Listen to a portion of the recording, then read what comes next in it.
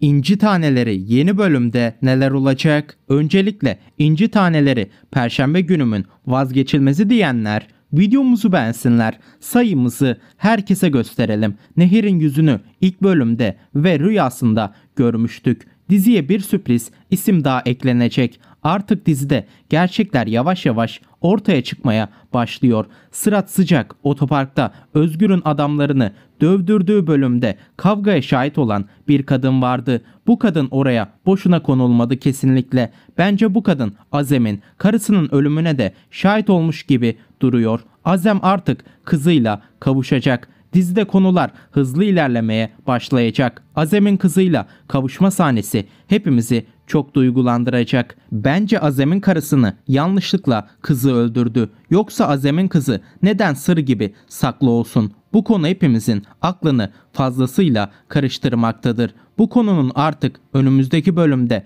çözüleceğini düşünüyorum. Çünkü çok fazla uzadı. Azem ailesini bir araya getirmek için elinden geleni yapmaya hazırdır. Artık tek çaresi iki evladına birden ulaşmaktır. Cihan isteyene kadar onunla iletişim kurma ısrarından vazgeçecektir. Ancak Cihan'ın içine düştüğü tehlike kararını uygulamasına izin vermez. Dilber Alişan'la yeni bir yaşam kurmak için elinden geleni yapsa da hiç ummadığı bir şekilde hayatı tepe taklak olur. Piraye'nin ise gördüğü bazı gerçekler karşısında iç dünyası bir kez daha karışacaktır.